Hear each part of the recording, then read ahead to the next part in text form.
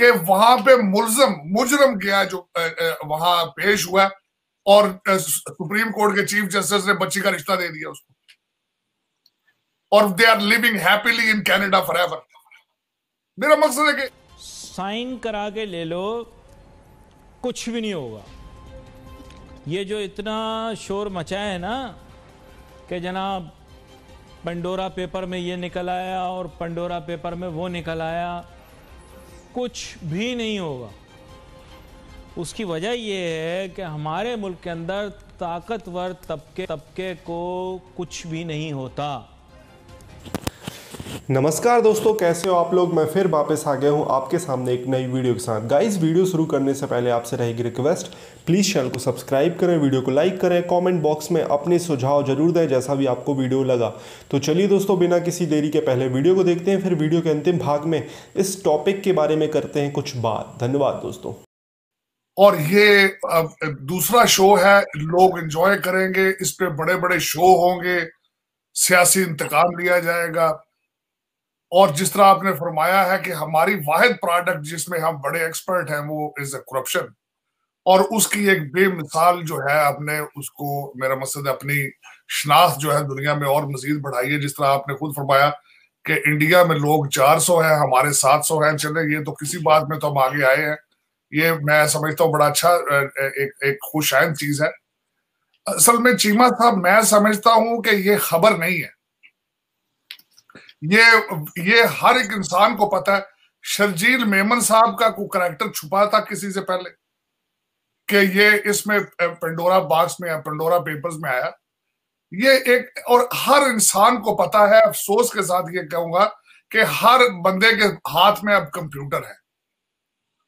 और बिलखसूस जो इस वक्त बेरोजगार, पढ़े लिखे बेरोजगार है, वो तो बेचारे अपने पाम के ऊपर सारी दुनिया की खबरें पढ़ते हैं ना सिर्फ़ पाकिस्तान की। खबर ये बननी थी कि अगर खान साहब ने स्विट्जरलैंड से इतना पैसा वापस ले लिया, खान साहब ने करप्शन के खिलाफ जो जिहाद था, इन्होंने 300 एसपी जो है पाकिस्तान में से करप्शन से निकाल दिए। खबर ये होती थी कि हमने इतने डिप्टी कमिश्नर निकाल दिए। हमने इस, देखे, ये ये पंडोरा पेपर्स तो बाहर अभी इतना मेहनत करके जर्नलिस्टों ने बनाए। रिंग रोड का जख्म अभी खुला है। अभी सात अरब रुपए का जख्म जो है पोस्टल सर्विसेज़ का वो खुला है। कितने शुगर माफिया के लोग जो है वो एनआरओ ले चुके हैं। मेरा मकसद है कि ये बताएँ कि इसकी कोई खबर कि, किसी मैं समझता हूँ स्वाय चैनल्स पे किसी पाकिस्तानी का कोई इंटरेस्ट नहीं इस खबर में। उसकी वजह यह है कि मैं कई दफ़ा ये कह चुका हूँ कि करप्शन जो है हमारे डीएनए का हिस्सा बन चुका है। हमारे बोन मैरो में जा चुकी है करप्शन मैंने कई दफ़ा इसका अंदिया दिया, आपको कहा है कि आप कोरोना आपका कुछ नहीं बिगाड़ेगा अफगान क्राइसिस से भी शायद बच जाए आप। हर चीज़ से बच जाएँगे, इस करप्शन से नहीं बचेंगे। इस, मैं समझता हूँ कि ये वाहिद एक मैंडेट था जिसपे खान साहब इलेक्शन जीते हैं। उन्होंने कहा था कि मैं अकाउंटेबिलिटी करूँगा, और अभी तक ज़ीरो अकाउंटेबिलिटी एक पैसा बाहर से नहीं आया वापस और बस निशानदेही यहाँ खास साहब माहौलियात की कॉन्फ्रेंस में लंदन जा, जाने का प्रोग्राम बनाए तो खबरें चलती है कि खान साहब नवाज़ शरीफ को वापस लेने जा रहे हैं। तो ये एक मैं समझता हूँ कि उस कौम जहाँ तक अभी तक भुट्टो ज़िंदा है जहाँ पर अभी तक नारा लगा रहे हैं कि खानदे थे लांदे ने मेरा मकसद उस कौम को ये पंडोर ये पिंड का रोड़ा क्या करेगा? यहाँ पे तो मेरा मकसद छठे लग रहे हैं करप्शन के। वहाँ ये एक छोटा सा ये एक, एक कतरा पानी का ये पंडोरा पेपर्स क्या करेंगे? कौम को मेरा बहुत अशद ज़रूरत है कि किसी तरीके से ये ये जो ड्रेनेज वाला अजाब है अब जिस तरीके से हर डिपार्टमेंट में देखे ना कौन सा डिपार्टमेंट जहाँ करप्शन नहीं है? और जो मैं बल्कि यहाँ पे बार बार ये कहता हूँ जो इस वक्त पाकिस्तान में हो रहा है जिस तरीके से महँगाई है डॉलर फ्री फॉल पे गिर रहा है नीचे किसी बंदे की जिसकी बीस से पच्चीस हज़ार एवरेज तनख्वाह है, उसका बजट बना के दिखाए तो सबसे बड़ी खबर वो होगी, ये खबर नहीं है। इस खबर का क्या है? मेरा मकसद ये तो पता है, आजकल मैं समझता हूँ जो जिनके नाम निकल आए हैं, दूसरे वज़ीर उनसे पूछ रहे होंगे, वो सानू दस हज़ार अकाउंट कि खोली दे? मेरा मतलब ये तो एक मज़ाक है ना, कौम के साथ। मेरे ख्याल में तो इस वक्त जो बड़ा डाका मारता है, पाकिस्तान में हीरो होता है वो। तो इसका इसका चीमा साहब देखें और जिस तरीके से कौम को चुप कराने का तरीका कार ये भी कौम को पता है कि जिस चीज़ को का कुछ ना करना उस पर कमीशन बना दिया जाता है। चार रिटायर हाई कोर्ट जो या सुप्रीम कोर्ट के जज होंगे उनकी लॉटरी निकल आई है। उसकी वजह वो बैठेंगे तनख्वाह भी लेंगे कुछ उनको काले आएँगी कुछ मजीद पैसा बना लेंगे उनमें से।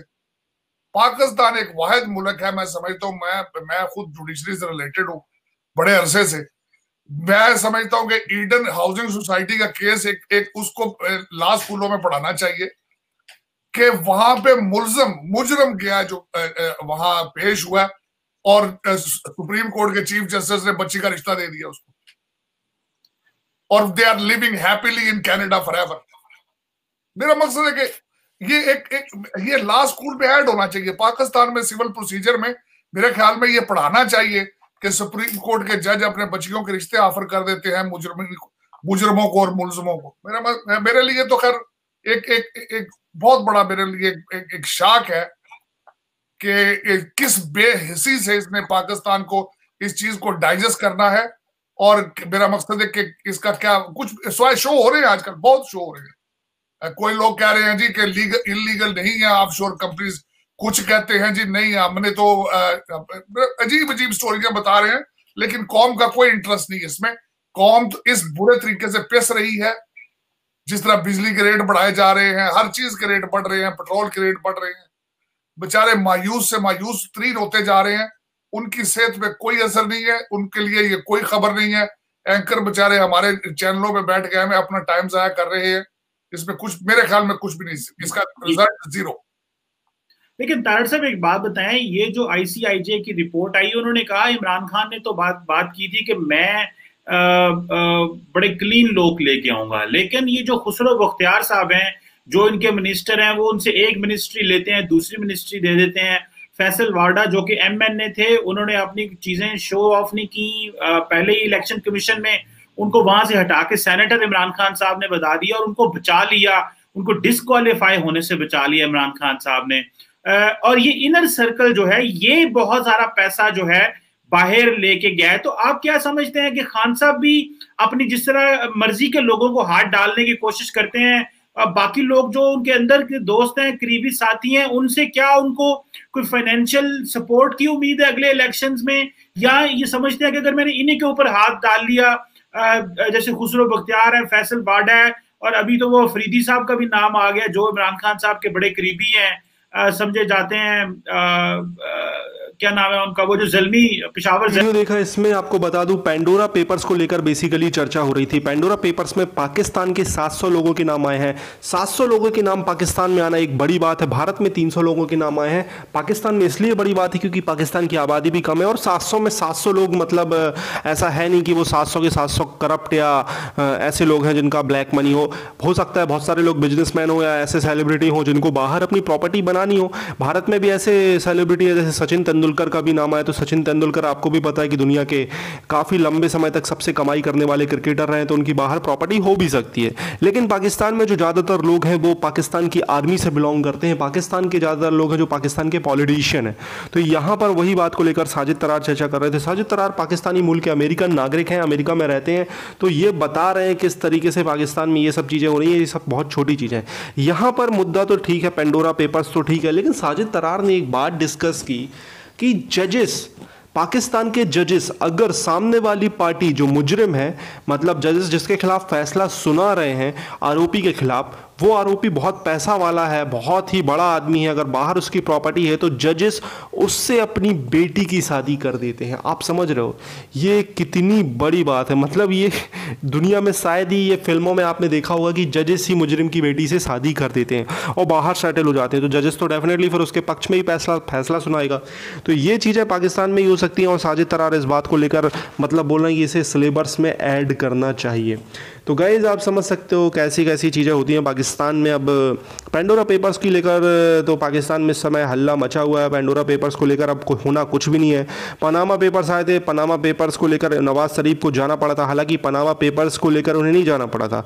दूसरे आरोप की वजह से वो उनको सजा हुई थी। लेकिन पनामा पेपर्स को लेकर उन्हें काफ़ी मतलब इमरान खान ने एक पूरा एक आंदोलन खड़ा किया और उसके बाद नफरत उनके खिलाफ आ गई और जनता उन्हें एक बेलन समझने लगी। लेकिन अब जो पेंडोरा पेपर्स है, इसमें उससे ज़्यादा करप्ट लोग हैं इमरान खान की पार्टी के, लेकिन इसमें होना कुछ नहीं है। क्योंकि बेसिकली इसमें जो ज़्यादातर लोग हैं, वो पाकिस्तानी फ़ौज के हैं तो पाकिस्तानी फ़ौज के खिलाफ बोलने की किसकी मतलब औकात है, वो तो पाकिस्तान की आर्मी, पाकिस्तान की आर्मी जो कुछ कहेगी, पाकिस्तान का मीडिया वही कहेगा। तो पाकिस्तान का मीडिया से तो आप ये उम्मीद ना रखें कि ये मेन स्ट्रीम मीडिया में ये बातें करें और पाकिस्तानी आर्मी के खिलाफ खुलकर पेंडोरा पेपर्स को लेकर सवाल उठाएँ कि पाकिस्तानी जर्नल्स की प्रॉपर्टी बाहर क्यों है। पाकिस्तान के बहुत फ़ेमस जर्नल जैसे कि परवेज़ मुशर्रफ जर्नल केयानी और जो अभी कुछ समय पहले एक जर्नल था जो आईएसआई का चीफ था डी जी उसका नाम आसिफ बाजवा शायद। आसिफ बाजवा, उसकी भी प्रॉपर्टी बाहर है और बहुत सारे लोग ऐसे हैं, गफूर जनरल गफूर, उसकी प्रॉपर्टी बाहर है। बच्चे फ्रांस में पढ़ते हैं उसके और फ्रांस के खिलाफ यहाँ पर ये लोग, आपने देखा होगा पाकिस्तान में कितना हंगामा होता है तो पाकिस्तान की आर्मी का एक रिकॉर्ड हिस्ट्री रही है। दोस्तों, वीडियो अच्छा लगा तो प्लीज़ चैनल को सब्सक्राइब करें, वीडियो को लाइक करें।